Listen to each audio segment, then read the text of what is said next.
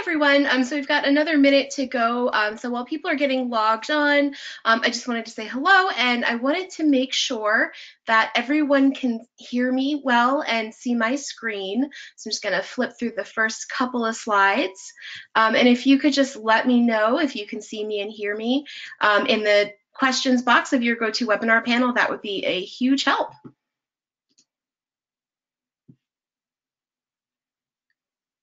All right, thank you, Debbie. Um, it looks like everybody can see and hear me, so that's good news.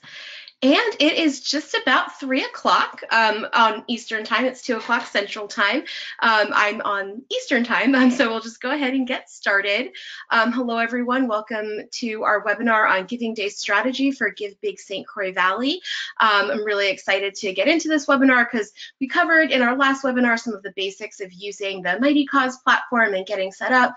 And on this webinar, we're really going to dig into the Giving Day strategy that will help you meet your fundraising goals and be successful. My name is Linda Gerhart. I'm the Senior Community Engagement Manager here at Mighty Cause. Um, and my job at Mighty Cause is mostly marketing, but I also manage giving events. This is my second year uh, managing uh, Give Big St. Croix Valley on the Mighty Cause side. So I manage putting the site together and working with the United Way of St. Croix Valley to get the event ready for you.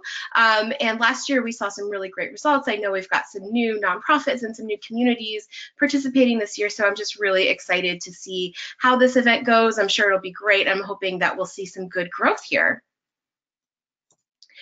Um, so before we dive in, I wanted to quickly go over the agenda for today's webinar. Um, first, we'll go over the basics of how Give Big St. Croix Valley works. So if you missed our first webinar or just need a little refresher, no worries, you'll know everything you need to know by the end of this webinar. Um, and then we'll move into um, how to run a successful Giving Day campaign, how to promote your campaign and get donations. And after that, we're gonna move into prize strategy. Um, and we'll be doing a Q&A Q&A session at the end of the webinar, and I will be joined uh, by Sarah from United Way St. Croix Valley.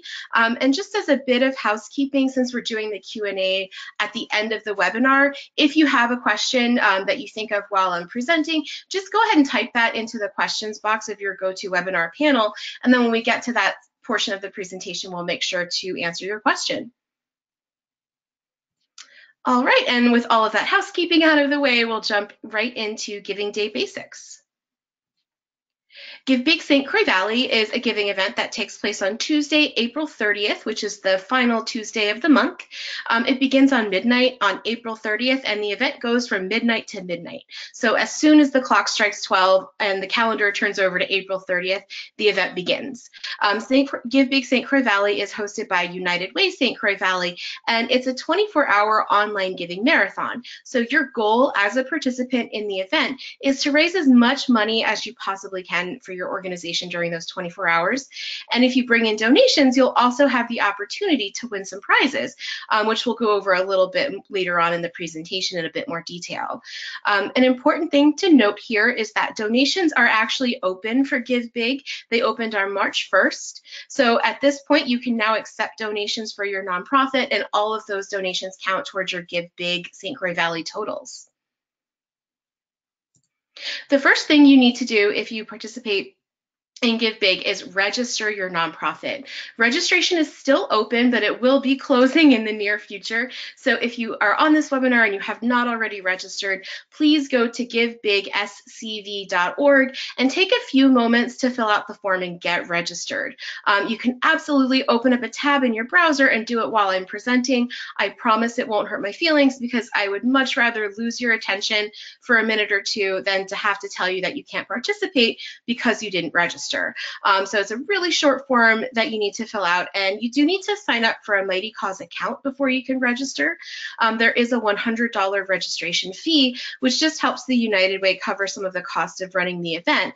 And if you haven't paid that yet, either Sarah will hunt you down or you can just check your email for the link or just mail in a check to the address that's listed on the registration form. Um, that's just to help them defray some of the costs of running this event.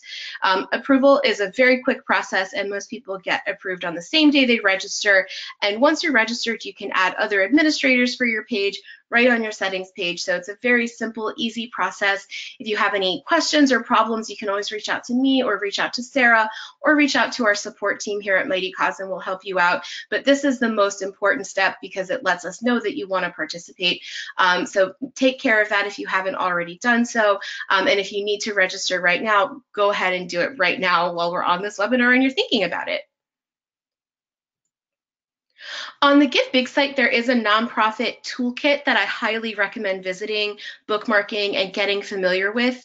Um, in it, you can view past trainings, and that's where this training will be um, once we're done with the presentation if you wanted to show it to volunteers or staff members who are helping with the Giving Day.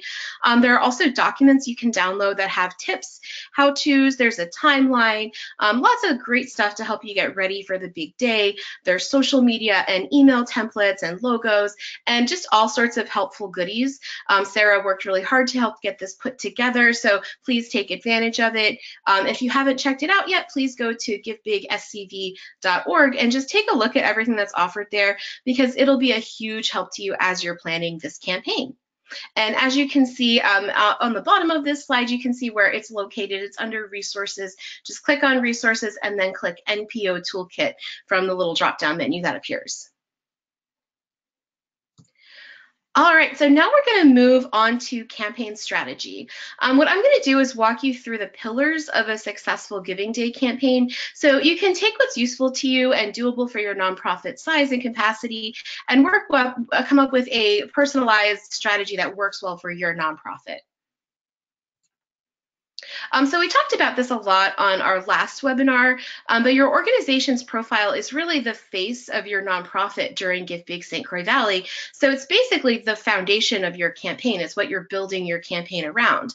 Um, this is the page that you'll be sharing with donors, and it's what you'll use to tell your nonprofit story. So customizing this page and making it look really sharp um, is one of the first things you should do after you get registered.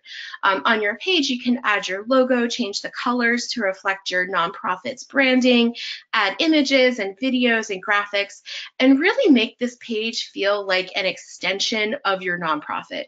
Um, you can also set a fundraising goal that will add a progress bar that allows you and also your supporters to track how you're doing and how close you are to your fundraising goal. The centerpiece of your page is your story, which is where you'll put your nonprofit's mission statement, talk about what you do, how you're part of the St. Croix Valley community and what you do to benefit residents, and make, make the case for why people should donate to your organization. Um, this is also where you can add some images, a campaign video, links, and really just represent your organization and discuss your work. Um, so before you even think about social media strategy or start drafting email blasts, um, really take some time to get familiar with this page and make sure that your profile really represents your nonprofit well because this is what most people will see when they come to your page to make a donation. Um, so if you need any help figuring out how to edit your page or if you have a question about whether you can do something on your page, our support team is here to help you and guide you. So you can always email us at support at mightycause.com and we'll walk you through whatever you are trying to do and make sure that you have your page looking the way you want um, for Give Big St. Croix Valley. Another foundation of your campaign strategy is what we call your donor experience, um, which hits donors at a key point, and that's obviously when they're making their donation. Um, I know we talked about this a bit in our last webinar, but there's a lot you can do with this tool, which you can access from your Mighty Cause Manager or your dashboard when you're on your nonprofits page. Um, but there are three main things that are important to set in place for your giving day. Uh, the first is using custom donation suggestions. These are four amounts that you can choose to display in the window that pops up when someone clicks to donate. This is a really crucial moment because this is when donors are choosing how much to give. So you have the opportunity to suggest amounts that are meaningful to your nonprofit and help you make the case for giving these amounts.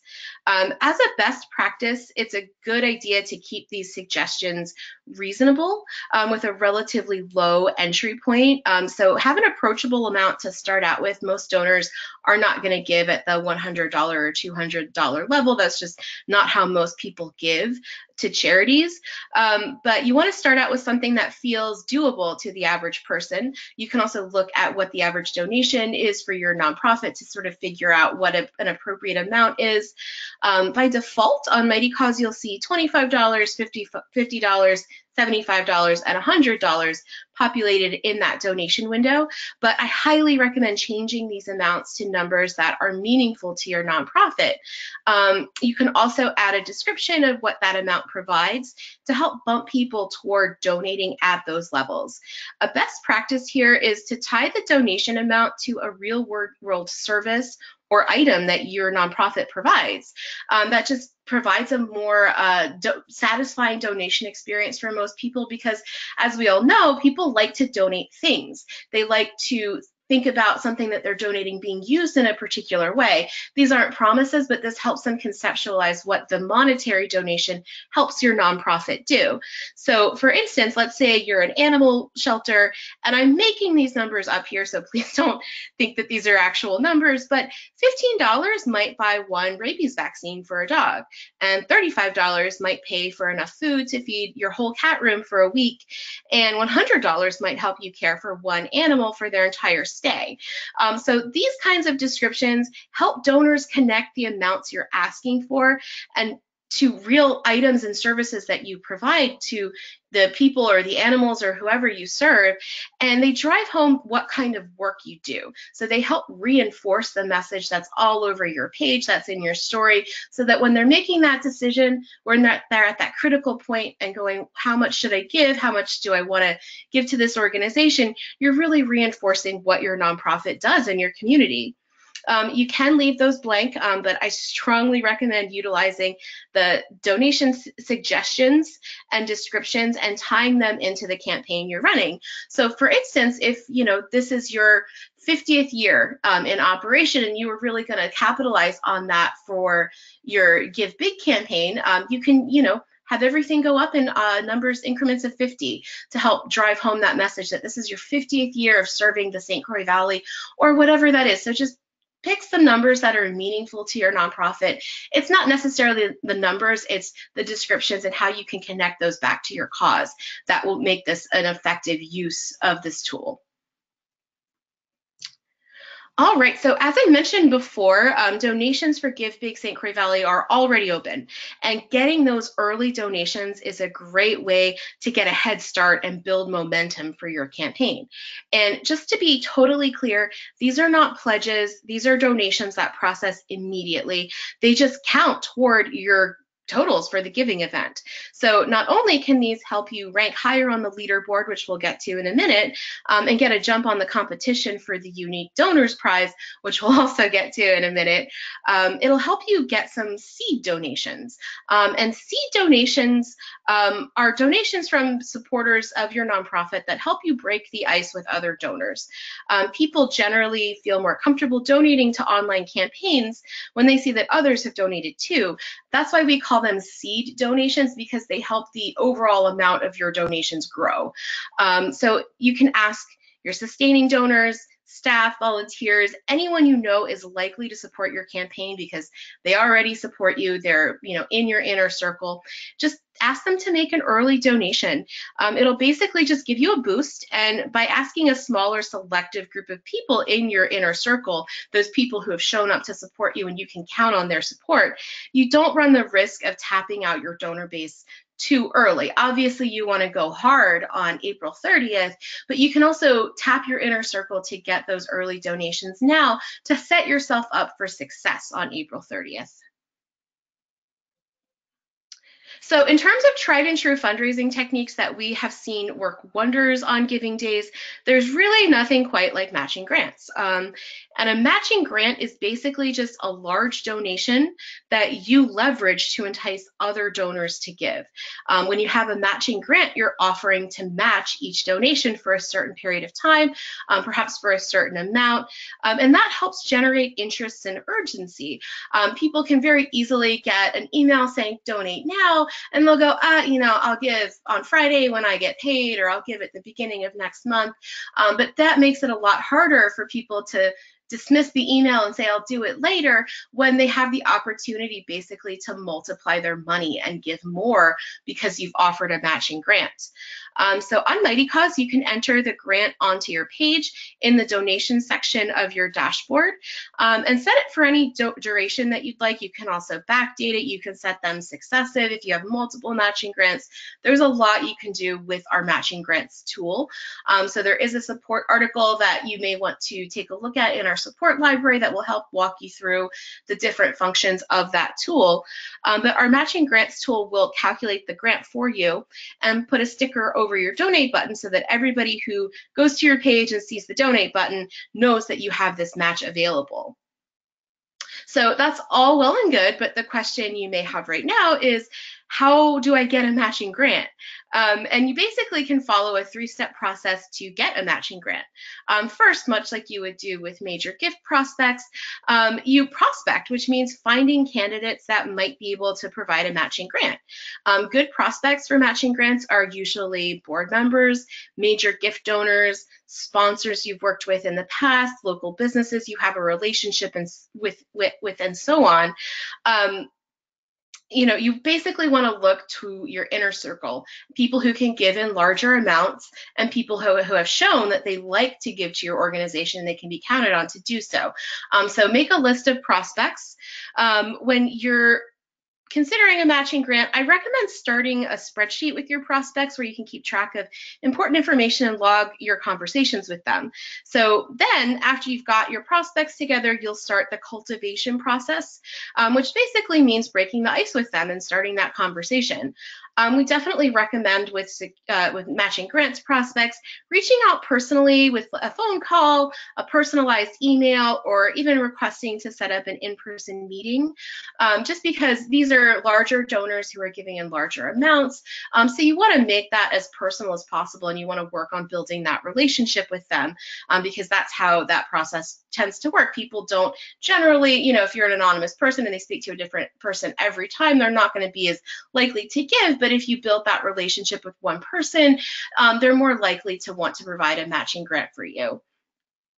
Um, and then you just make your ask. Um, now, this generally works best if you leave it somewhat open and allow the grantor to steer the conversation about how much to give. Um, smaller matching grants like $500 and even less than that have been enough to successfully drive donations, especially if the grant is active for a short period of time. Like if you had a smaller grant, you could run it for an hour. Um, you can also post multiple matches at one time or have them go live at certain times. So if you're able to secure multiple smaller matches, you can either post them separately for little fundraising sprints or bundle them together.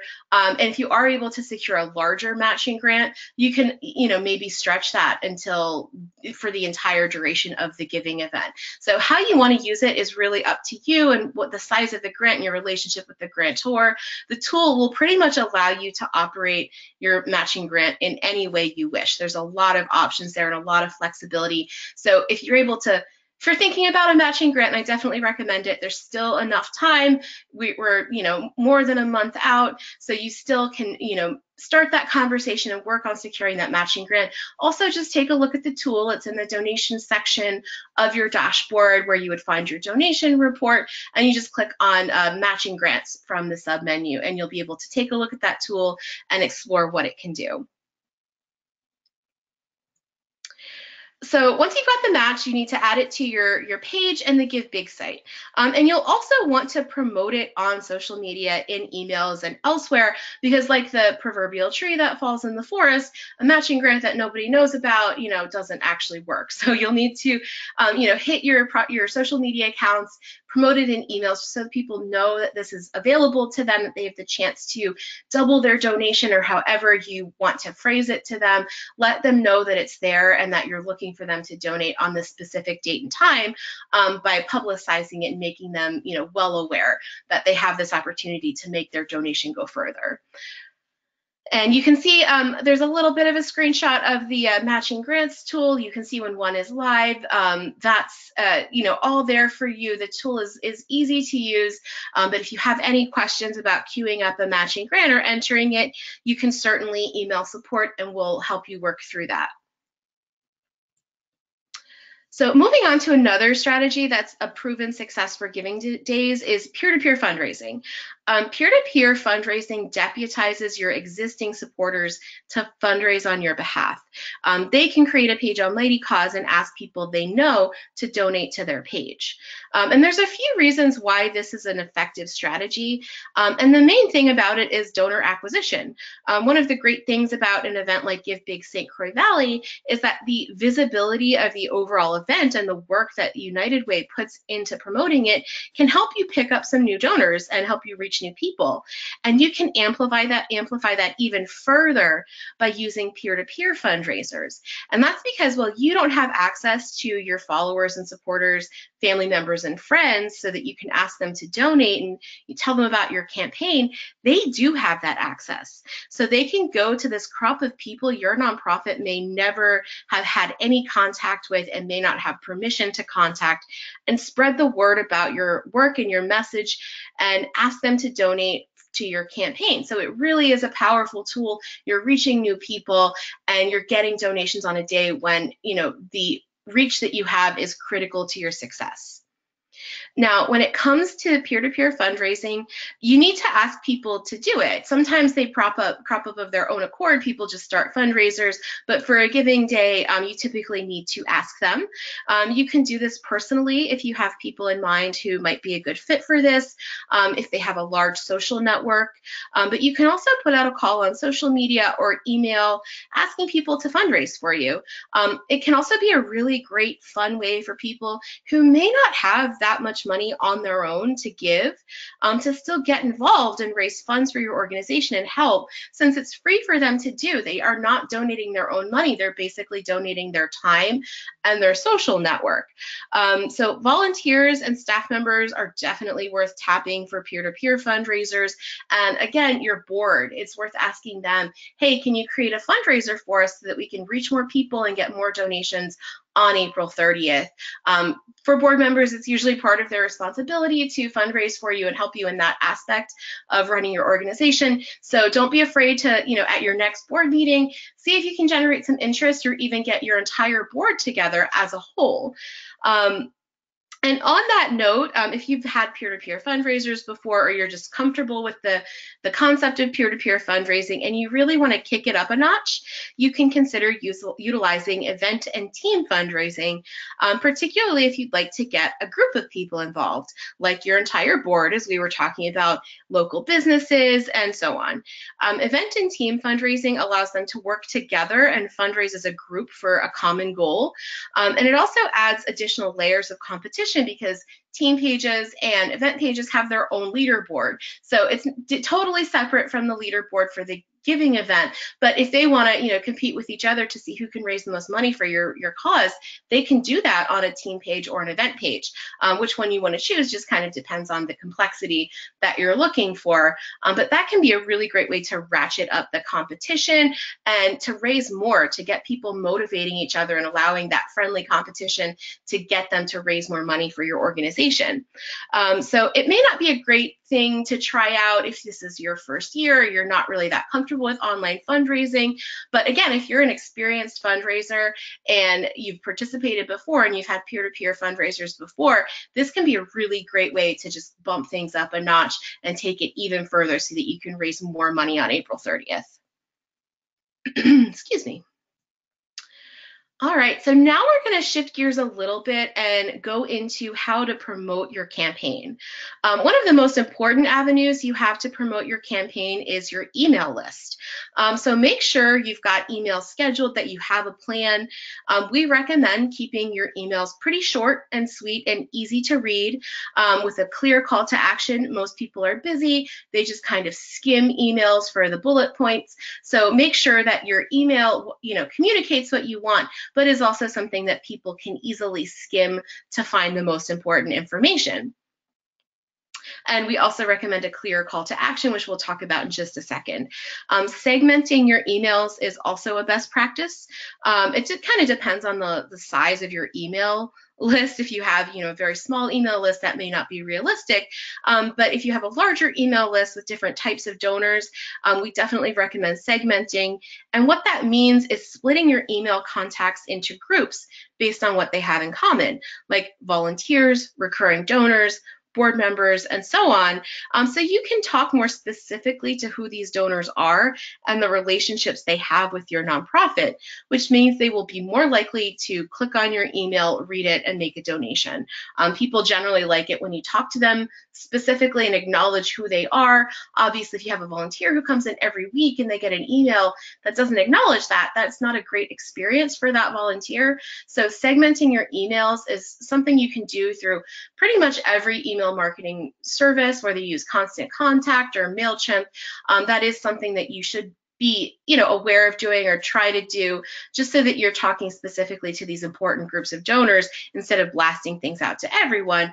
Um, obviously a few blast emails like when the event begins when you start you know sending emails for donations and they don't have any specific messaging toward particular donors those are fine to send blast emails. I'm not saying blast emails are bad um, but you definitely want to take some extra time and care with some of these segments that are really key uh, supporters of your organization um, definitely schedule your emails ahead of time and think about the timing.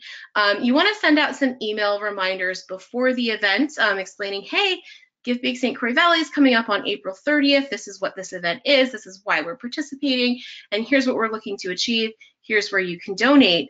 Um, and if you haven't already done so, you can send a notice that donations are now open. Um, and just be strategic about when you send these throughout the day. Um, you know, obviously not a lot of people are going to be checking their email at 2 a.m., even though people are making donations incredibly at that hour.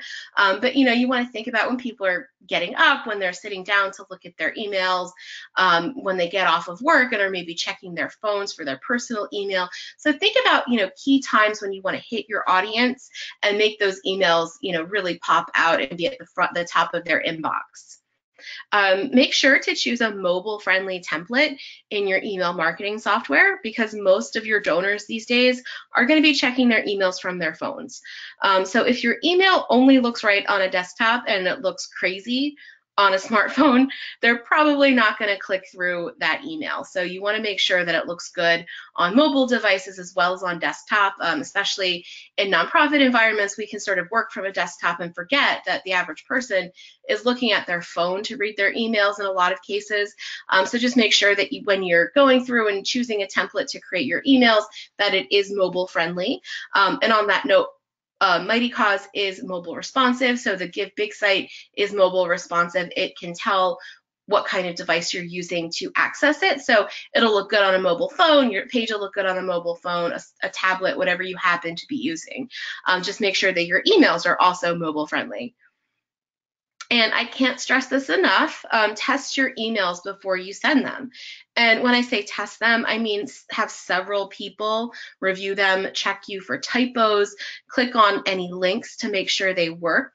Um, and as a tip, make sure you have a link to your Give, Give Big page embedded in your images in your email, because for some reason, I've seen this over years of marketing, doing email marketing, people really like to click on images um, as opposed to links that are embedded in the email or the CTA button. So just make sure that all of the images that you have have a hyperlink because for some reason people are just more likely to click on those than any other links. Um, check your emails on a couple of different devices and different browsers to make sure that they look how you want them to look. Um, because sometimes, as I mentioned above uh, or earlier, um, an email will look great in Chrome and look kind of weird in Internet Explorer. So just test them out. And if you need help, you can always recruit volunteers to help you check emails and test links and do that kind of work for you. So it doesn't have to all be on your you and your staff. You can always get some emails involved because that's a really easy way for volunteers to get involved um, remotely and it doesn't take much time for them to do. Um, and finally, on the email front, uh, make sure you have a clear call to action or CTA. Um, that means it's not only a button, but your CTA and what you would like people to do, what action you would like them to take, is evident from your subject line, the headline that you use, and the graphics that you use.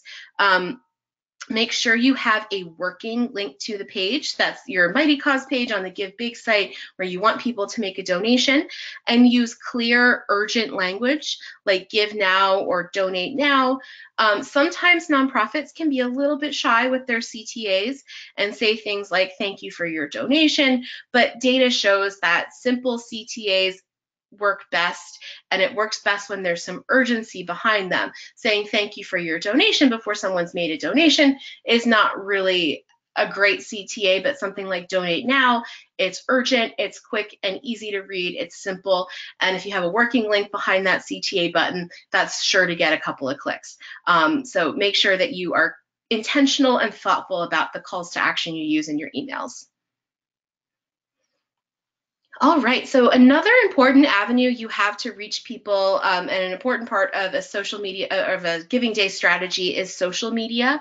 Um, my advice to you is to focus on wherever you have the biggest audience. So if you have a good sized Facebook page um, and only have a handful of followers on Twitter, don't bother live tweeting on April 30th. That doesn't mean that you know you, you should ignore other platforms, but spend the most time and invest the most effort where you have the most people watching.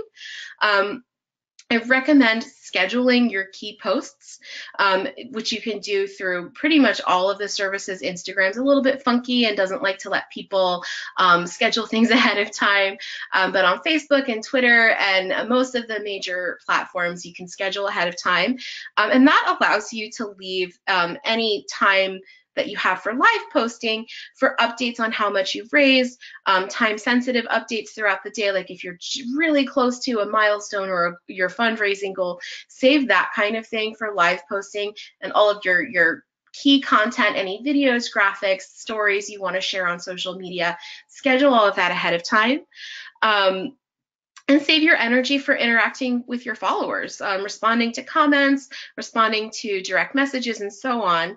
Um, you know, just be available to your supporters, be involved on social media, respond to people if they say, hey, I made a donation thank them on social media. And you can also involve volunteers in that. Um, a lot of volunteers have social media experience and they're happy to jump in and say thank you and answer questions that they may have. So if you need, a, if you're a small operation, you need some help with that, you can certainly loop in some volunteers to help you with social media on the day of, especially if you're going to be super busy. Um, it can also be really helpful, especially on Facebook, to budget a little bit of money to boost your key posts.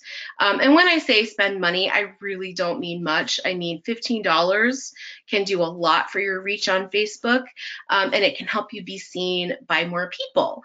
Um, and if you're not too familiar with Facebook targeting, if it's not something that you use very often, I recommend with sticking um, your to boosting your post to your followers, which is one of the options you can choose. Um, and the reason for that is that sometimes Facebook's algorithm um, means people who like your page may not see your post on the day you post it. They may see it a few days afterward, um, or they may not even see the post at all, um, just because that's the way Facebook is working. It's not chronological. It's been that way for quite a long time. Um, but paying a little bit to boost a post to the right people will ensure that your post with your key content gets in front of the right people at the right time when you're looking to collect donations for Give Big St. Croix Valley. Um, I definitely recommend focusing on algorithm friendly content. Um, that is to say that Facebook and Twitter, they all have algorithms, and those algorithms tend to prefer certain types of content. Um, we see that they get more engagement overall, um, and that includes video and photos. Um, empirically, these just get more engagement than just text posts. That means click, that clicks, that means comments, that means likes, retweets, all of that is included under the umbrella of engagement. Um, so definitely uh, work on getting some assets together for social media, whether that's a video you want to share or images you want to share. Um, that'll be a huge help on social media.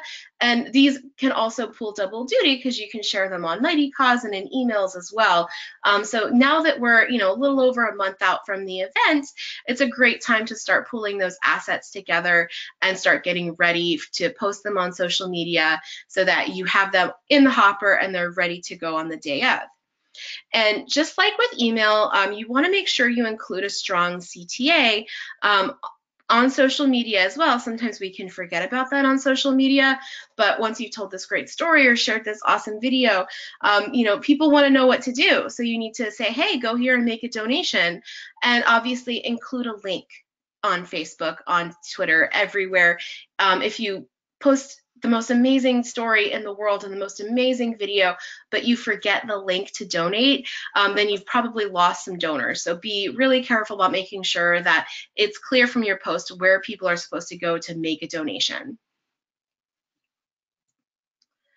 All right, so one thing that's really important to consider, especially if you've done Give Big St. Croix Valley in previous years, is donor retention.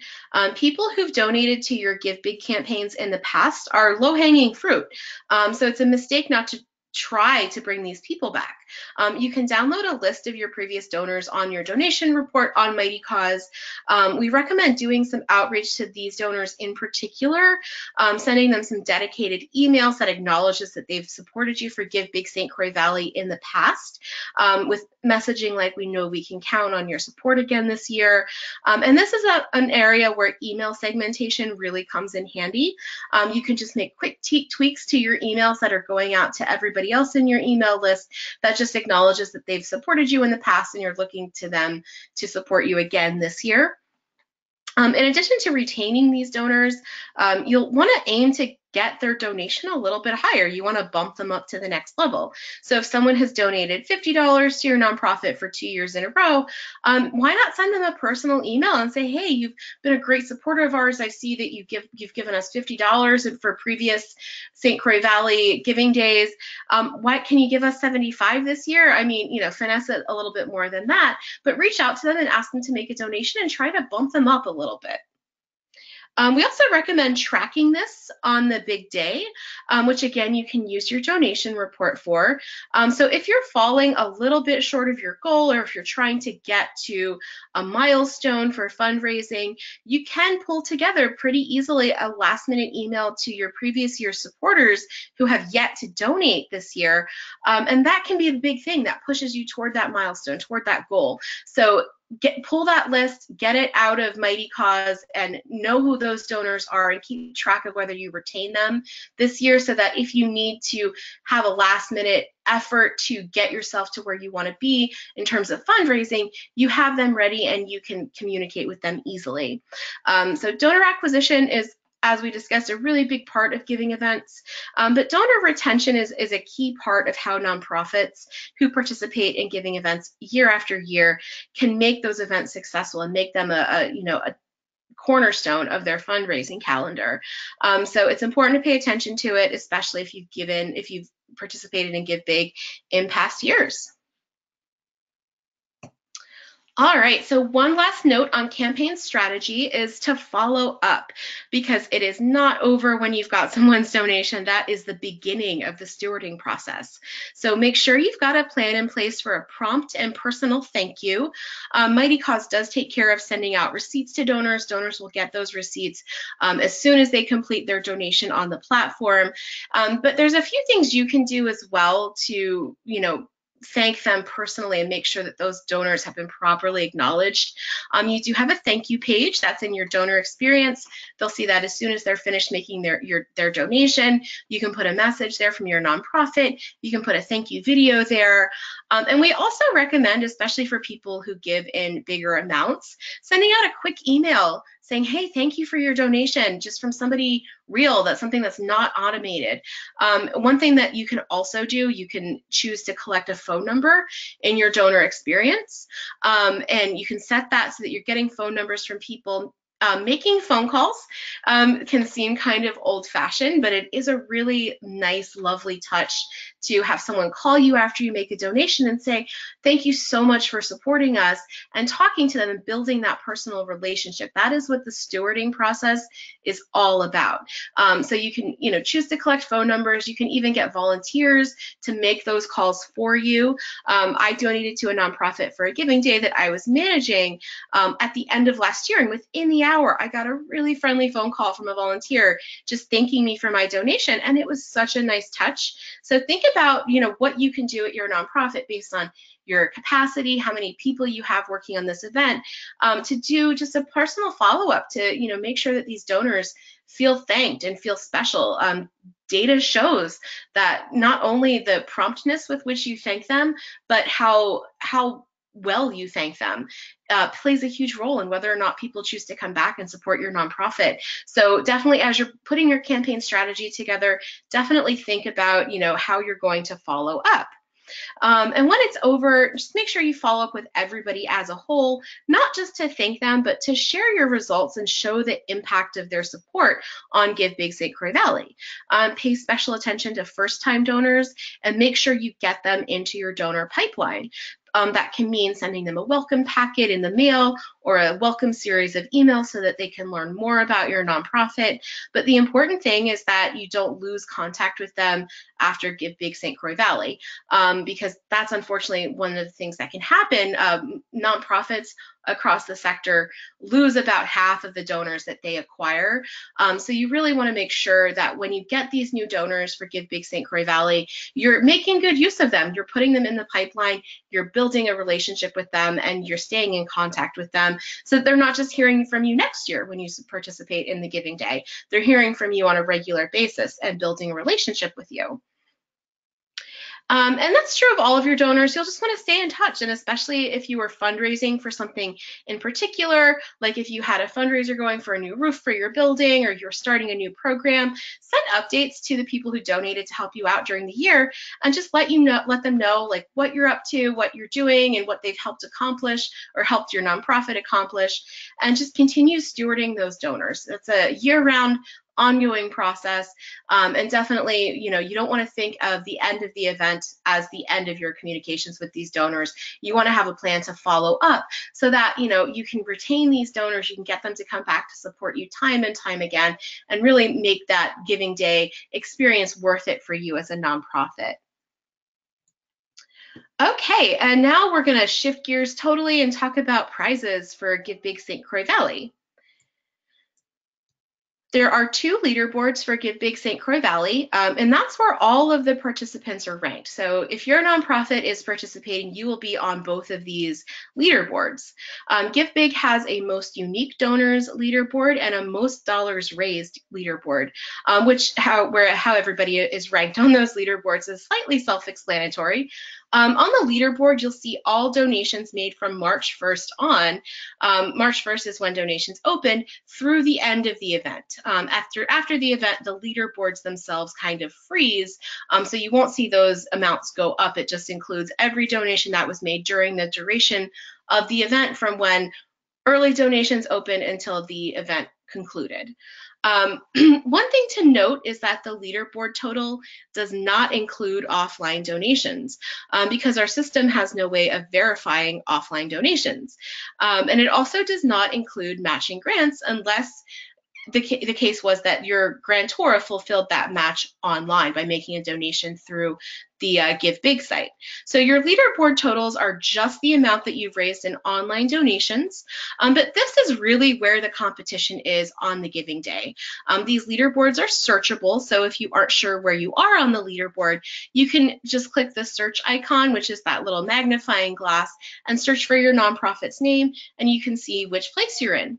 Um, there is a prize for the people who have the most unique donors. Um, so that's an important leaderboard to keep an eye on. The, the top seven on this leaderboard will qualify for a prize grant.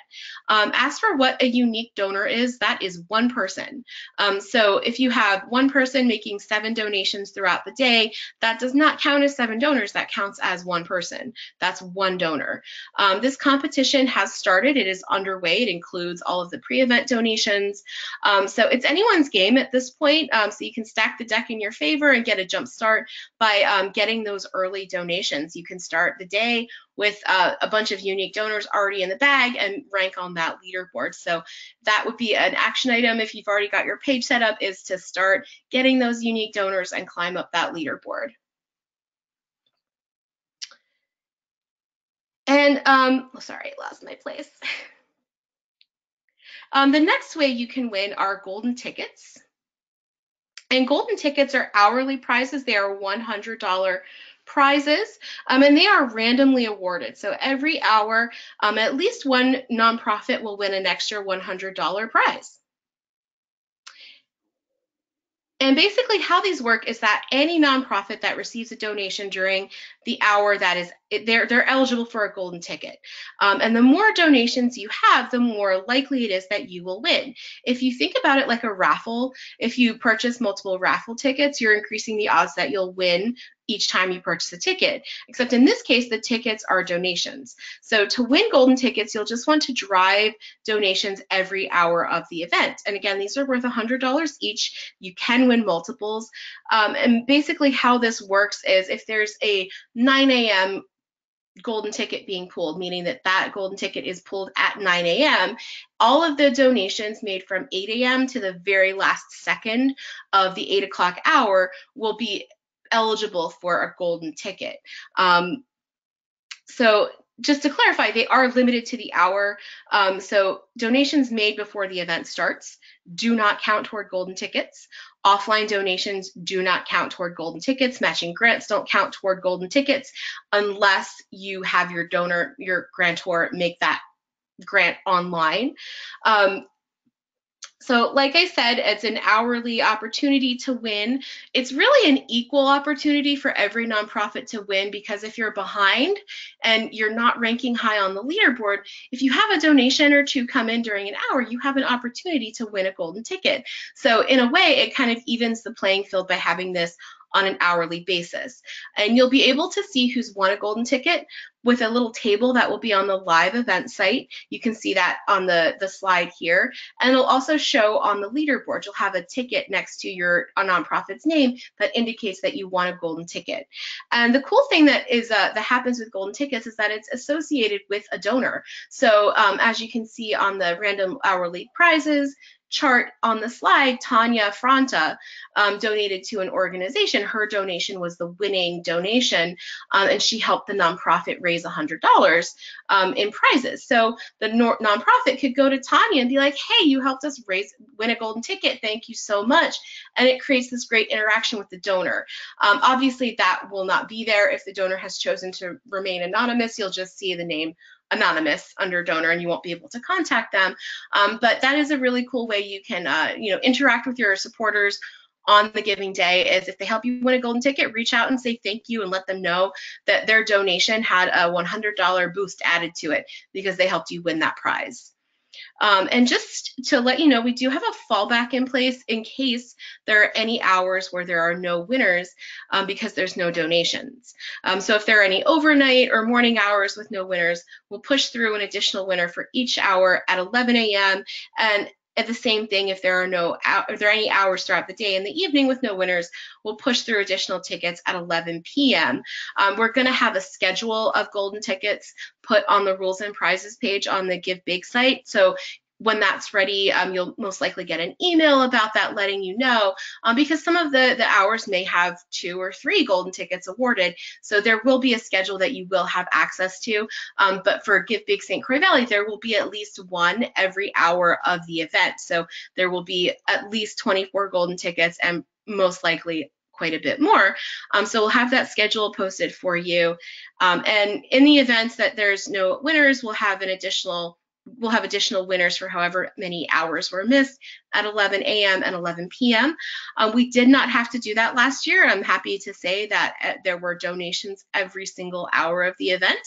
Um, but that's also something you can think about a little bit as you're um, thinking about your strategy is, you know, who's making donations at 3 a.m. Um, if you, you know, play your cards right and do some outreach, that could be you. And so since there's a smaller pool of people who are making donations in those wee hours of the morning, you can, you know, sort of put yourself in a better position to win a golden ticket um, by having people donate during those overnight hours or you know you know making your staff aware that if they donate late at night they can help you. Um, so there's a lot of things you can do to strategically win these even though they are random. Um, but that's how golden tickets work. Um, and again there will be a full schedule of these and how many will be awarded during each hour on the give big site soon. Um, so you'll get a notification when that goes out and that will help you understand how when you can get golden tickets. Obviously, if there's more than one being awarded, um, you want to go hard that hour and get as many donations as you can during that hour so you can increase your, your chances of winning. All right, so that is all I've got for now. Um, Sarah, if you would like to unmute yourself, um, we can start taking questions. Um, so if you have a question about anything um, that we've gone over in this presentation, um, just type it into the questions box of your GoToWebinar panel because um, we're gonna we're gonna make plenty of time to answer everybody's questions.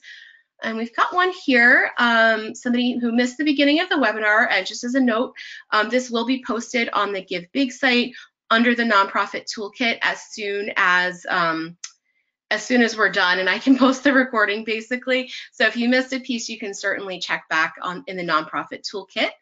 Um, okay, this person asked, on the Give Big website, is each organization expected to start a fundraiser or create a fundraising event?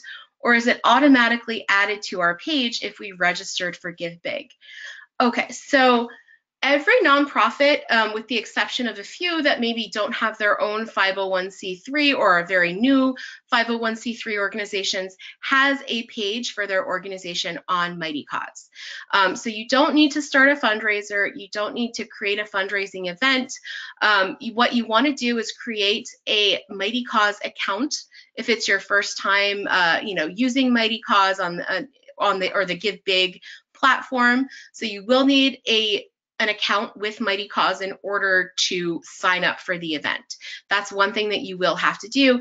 And then you just have to register. Um, your nonprofit will already have a page um, that's associated with your, your EIN, um, your nonprofit status, and then you'll just have to go in and customize that page. So you don't need to create a fundraiser. You don't need to create a fundraising event. You just need to sign up for a Mightycause account, um, and you'll do that on the upper right-hand corner of the page. If you're, you know, you don't currently have an account, and when you log in, you can search for your organization's page in the registration form so that you can easily find um, your nonprofit. If you're not finding them there, or if you have a unique situation where you have a fiscal sponsor, um, just let me contact Sarah or contact me. My email is linda at mightycause.com. You can also contact support. There's a, a link there that you'll need to click to give us the information about, you know, what your situation is. If you have a fiscal sponsor, we just need documentation in place, but we can add you. But it should be pretty simple for the average nonprofit to get signed up. Um, I would say all of those prompts to start a fundraiser, create a fundraising event, ignore those for now um, unless you are intentionally looking to create a fundraising event within this giving event. You don't need to click any of those. Um, so I hope that makes sense. Um, but yeah, you don't need to create an event or um, create a fundraiser unless you want to. Um, yes, I will send Sarah a copy of the slide deck so that you can uh, she can distribute that to you guys. Um, but yeah, we'll send out um, the slide deck and you'll also have access to the recording on the toolkit. Um, let's see. And Sarah, are you on? Yes, I am. Okay, cool. It looks like most, yeah, I can hear you. I just, I kind of plowed right into the questions without saying hello. That's okay. All right, most of these are, are technical questions though, but I did want to, you know, keep you there in case you have any tips or if one of them is event related, that's kind of outside of my, my wheelhouse. Um, yep. So let's see, this one is about the mobile friendly website. Um, and how to make sure that your emails are mobile friendly. Um, is it easy to make sure that they are mobile friendly? In most cases, if you're using something like Constant Contact or MailChimp or Campaign Monitor, whatever email marketing service you use, um, you there's you can tell when you choose a template that it's mobile friendly. Um, it'll usually have an icon or it, you know some of them may have all mobile friendly templates but some things that can really go a little wonky on mobile are newsletter formats with lots of little boxes next to each other because what happens when you take an email that's got you know a newsletter format where you've got lots of boxes next to each other a phone a smartphone browser takes those and stacks them. So if you have you know five or six different columns that you've you've written into your email or however many columns you have or side by side boxes those are all going to be stacked. And that can look really funky in an email and be hard to read and it makes it harder for people to get to the bottom of the email or wherever your CTA is. So um, check with you know there, there's probably support archi archives where you can find out you know exactly how to tell if an email is mobile friendly um, you know, in whatever program you use, whether it's Constant Contact, MailChimp, or any of the other multiple email uh, marketing programs there are. Um, and the other thing is test them. Um, so send an email to test email to yourself um, to you know see and open it up on your phone, open it up on a tablet, open it up in a different browser. That's kind of the testing I was talking about to make sure that you know everything looks good from device to device um, because most people do check their email from their phone. I know I do. Um, so just pull it up on your phone, send it to your personal email address and, and check it out on your phone. If you're a Droid user and somebody else in the office has an iPhone, send it to them, see how it looks, um, just as you're testing them out, especially with these key emails. Um, now, this is only with, you know, email marketing software. If you are super small and you're, you know, personally sending, you know, things to contacts in Gmail and you're not using something like Constant Contact, then that doesn't really apply. Um, but if you're using uh, an email marketing program like Constant Contact or MailChimp, you should easily be able to tell if it's mobile friendly, um, either by looking at the template you're choosing or by testing it. Um, and just keep in mind that anything that is side by side on uh, in, in an email is going to stack on mobile. Um, so lots of things next to each other is generally a recipe for disaster with um, mobile emails. Um, but yeah, I mean, if you um, you know want to reach out to me, I'm happy to help you. If you let me know what um, email service you're using, um, I'm happy to you know point you in the right direction. All right, so someone has a question about what is a unique donor. Um, so a unique donor is just one person. So um, if you make 20 donations to your own nonprofit on, you know, Give Big, you are one donor. You are one unique donor. So um, that's basically the gist of it. Is you know people you know trying to donate multiple times. Um, they that's they're one person. They're one unique donor. So you can you have two ways you're being ranked. One is by the volume of donations you that you bring in, or the amount of donations you bring in. In which case, having people donate multiple times, especially when it comes for golden tickets, um, that can be really helpful and useful. It will not affect the unique donor count because it's the number of individuals who donate. So it's just a, a unique person I'm an individual. I donated 20 times, but I'm one person. So um, in terms of how that looks on the back end, I unfortunately can't get into that. Um, but basically, one person equals one unique donor. Um, and that's how that works. So, um, you know, if we do take a look at things that happen throughout the day, you know, if somebody is creating lots of multiple accounts, that can sometimes be considered cheating. So generally one person is one unique donor. Um, eh, you know and that's that's how to especially because there's prize money behind this you know unique donors just counts how many donors you're able to bring in. And the purpose of that um, as sarah as i'm sure can attest is to to you know help you guys grow and get more donors. Um, that's really the mission of give big st croix valley is to, to help out nonprofits. Um, so one person equals one unique donor. So i hope that makes sense. Um, sarah do you have any anything to add on the unique donor situation? No, nope, that's that's what okay. I've been um, communicating as well. So. Okay, cool. Yeah, it's just one person, um, and we do see a list of who donates what. So definitely um, finding creative ways to make one person count as 30 people. We do tend to pick up on that. Um, you know, I'm able to see that during the day, um, but generally, just you know, one person is one unique donor, and that's um, that's the end of that story, I think. Um, let's see. Oh, okay. Another question. Um, I'm sorry. Did you say we will have access to listen to this webinar again? Yes. Um, so that once I'm done with the webinar and I've uploaded it to YouTube, we'll put it on the Give Big site. So you just go to resources and NPO tool, toolkit, and you'll be able to access it there. You can fast forward some of the talking I did that maybe wasn't so interesting, um, or go back to the question and answer section if that's what you want to do, or just share it with people. Um, but yeah, you're going to have access to the recording. We'll post it on the Give Big site. Um, probably, I would say no later than tomorrow. Um, YouTube's a little slow, unfortunately, but um, yeah, so we'll have this available to you. And Sarah, I will send you the slide deck if you want to send that out in an email to everybody. All right, um, so there's another one. Can I enter cash and check donations for Give Big? Yes, um, you can enter them as offline donations. Um, and they will be added to the total on your page. The one thing I do want to make clear though is because this is an online giving marathon, they don't count for the total amount raised for the event and they will not show on your leaderboard. Um, so sometimes if you know you you look at the, your nonprofit on the leaderboard on the day of and you're like hey there's a there's a discrepancy.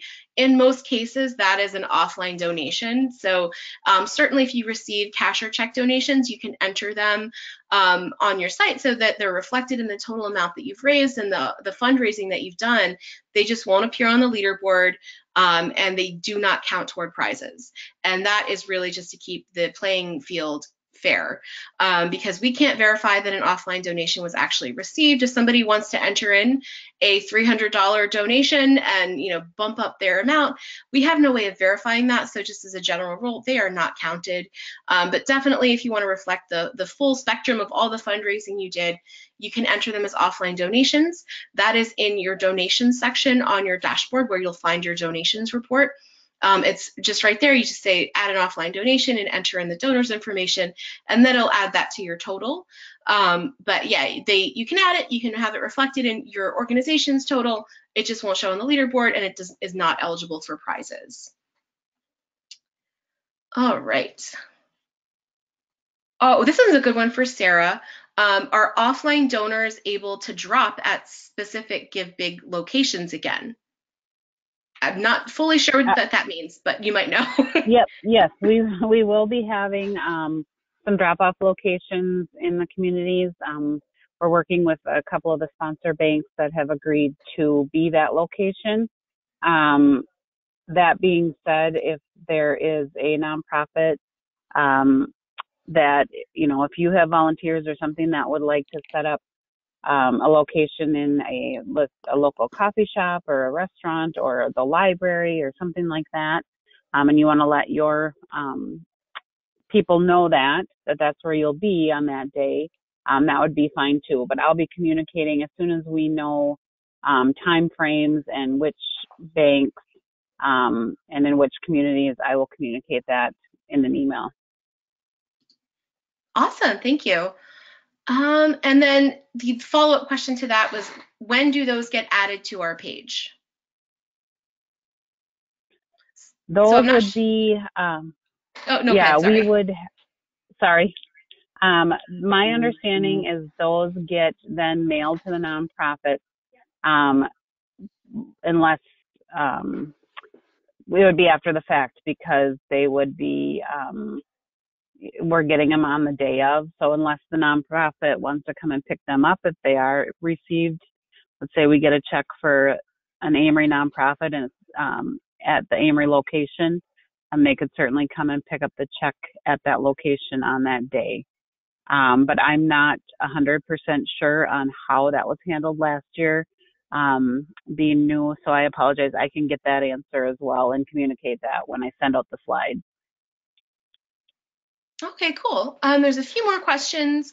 Um, one is a question about matching grants. Um, do I have to collect the matching do grant donation on the Give Big site? Um, the answer to that is no. Um, you can collect it however you want with your donor.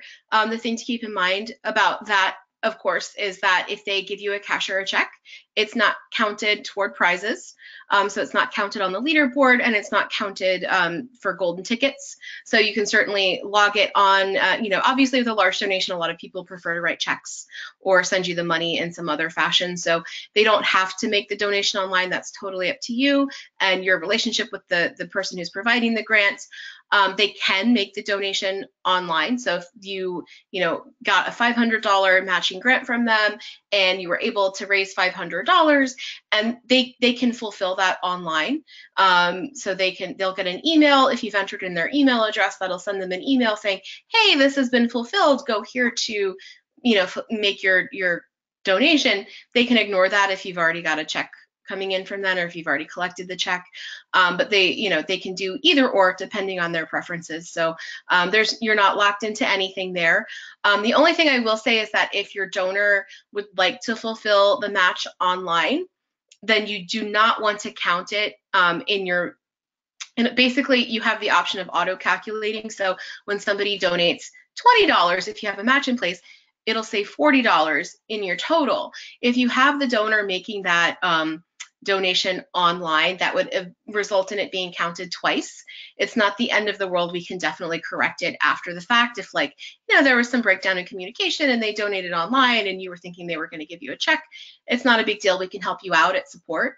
Um, but you know that's the only caveat I would put to that. If you have it coming in online and you've already come to that agreement, um, then don't auto calculate it um, with each donation. Um, basically, it'll add an offline donation for each donation that gets you to the amount of the match, if that makes any sense whatsoever.